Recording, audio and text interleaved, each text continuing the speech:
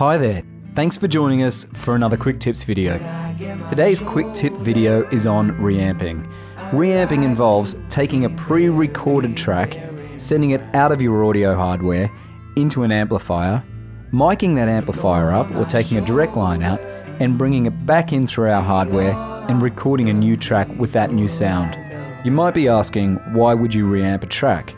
Well, in this case, I wrote this song in a small apartment in London, and I think I wrote it really quickly.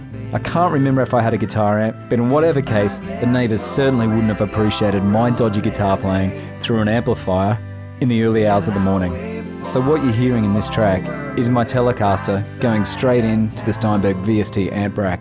In this song, the vocals are based on the guitar riff, so I plugged a microphone in as soon as I came up with that riff and started building ideas. What you're hearing in the background is still only a demo. The pedal steel playing on this track is played by a guy called BJ Cole. Now, Sting reckons he's the best pedal steel player in the world. Let's quickly take the VST amp rack off one of the guitar parts and have a listen. So there's a direct sound in comparison with the VST amp rack sound. I've got a compressor and a tremolo pedal going into something that looks like quite a famous replication of a Great British amplifier. The clean sound in the amp rack is really quite good, but I know if you're a guitarist, it's not the real thing. But today I'm going to quickly show you how to set up your own pedals and amplifiers as a send and return inside a Cubase.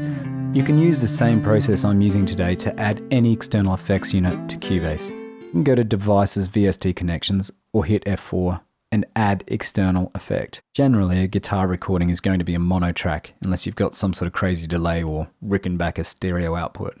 So these are both mono tracks.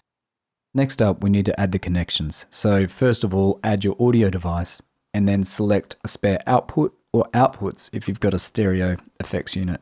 Then I'm plugging a lead into my amplifier and I'm going over to my Steinberg UR44 and I'm plugging the other end of that lead into the connection that I've just specified for the output.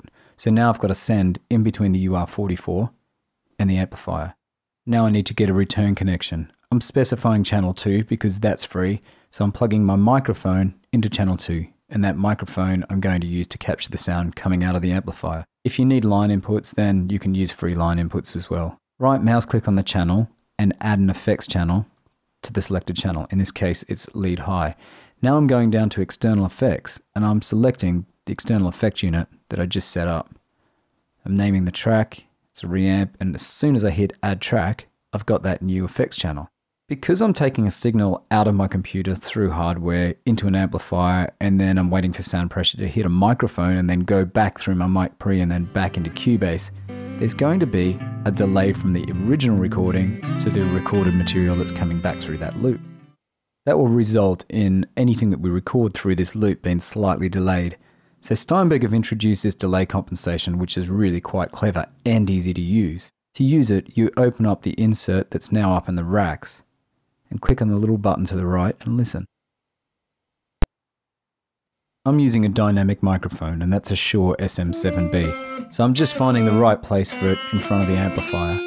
Then it's a matter of getting the tone that I want and then setting a level. Now we've got the connections sorted and our levels right, let's go up to File, Export, Audio Mixdown, select Batch Export and the new effects channel.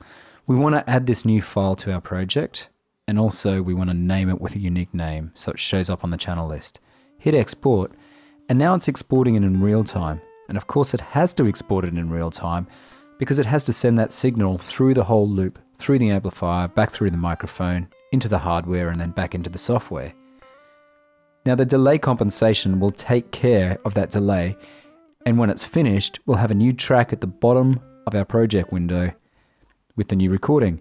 Now I only bounced the solo because I didn't want to keep you here all day. So I go down to the bottom and I can see that new track I'm dragging it up to my guitar folder and then I'm going to specify an output because my guitars are all being sent through a group at the moment.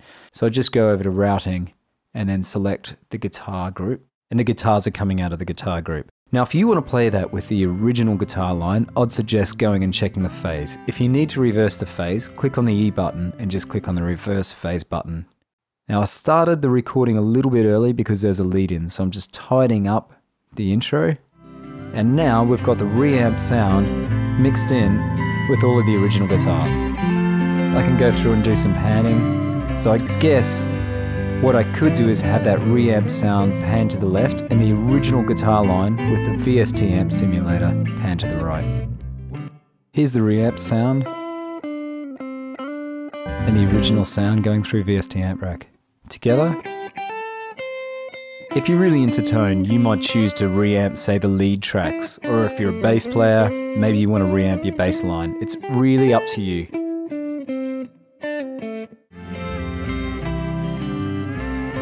Here they are, both blended into the track. I know some guitarists that are going to be able to tell straight away if a guitar has gone through an amp simulator. But you talk about the average person, maybe not so much. But at least we know now that we've got the tools to set up an external effects send and return through VST connection. If it's going to make a guitarist and a bass player feel better about themselves, then it can only be a good thing, right? Just don't tell them it's going to a mix engineer. Thanks again for stopping by. I'll catch you soon.